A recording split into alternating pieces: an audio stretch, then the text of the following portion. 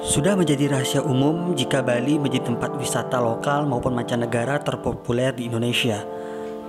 Keindahan alam yang membentang, restoran kaya rasa, gegap gempita hiburan, dan serupa lainnya menjadi tawaran wajib bagi pulau yang disebut sebagai tempat perkumpulan para dewa ini. Disebut-sebut sebagai Pulau Dewata, Bali memang menyimpan banyak orang mistis dan tahayul.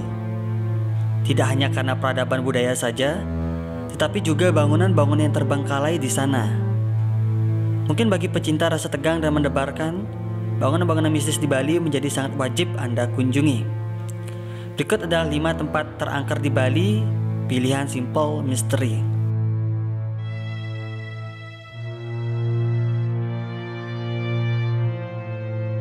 Taman hiburan terbesar yang berlokasi di Sanur ini sudah terabaikan selama 14 tahun. Bangunan ini sudah benar-benar hancur dan sering kali disebut sebagai kota hantu.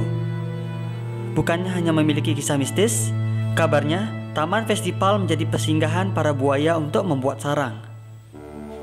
Tak diragukan lagi, apabila masuk ke dalam taman hiburan ini, rambut-rambut di tubuh Anda akan berdiri.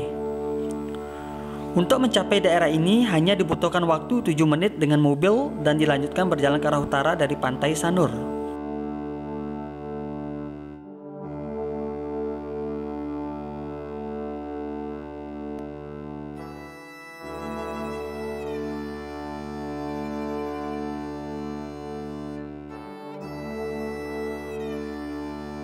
Mungkin bulu kuduk Anda langsung akan berdiri sesaat setelah memasuki kawasan bungalow ini.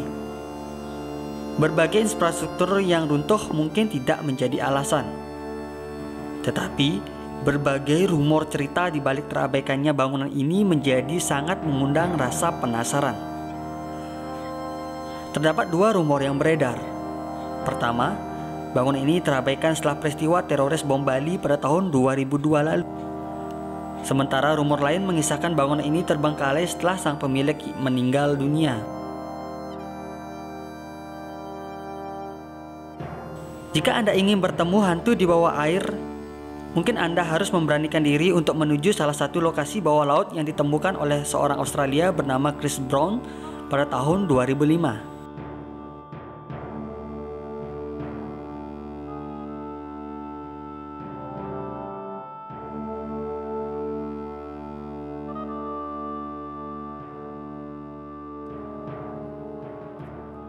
Alasannya karena terdapat sebuah kuil di dalam laut di desa pemutaran ini. Air yang keruh membuat visibilitas di area rendah. Akibatnya, para penyelam lokal pun harus berpikir dua kali sebelum menyelam di area ini.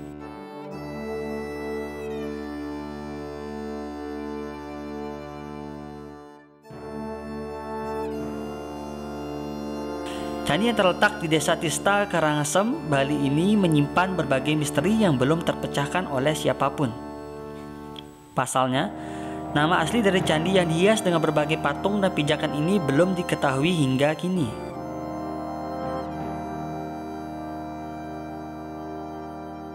Sudah 12 tahun sejak pembangunan sebuah hotel ini tidak dilanjutkan.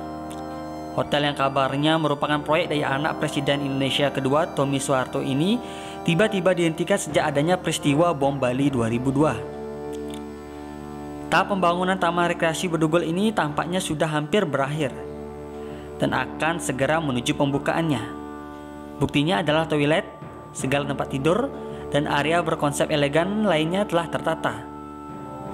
Akhirnya, hotel ini tak pernah selesai dibangun dan dibiarkan terbengkalai hingga menyenang julukan sebagai hotel istana berhantu. Jadi demikianlah deretan tempat-tempat terangker di Bali dengan dipenuhi kisah-kisah misteri.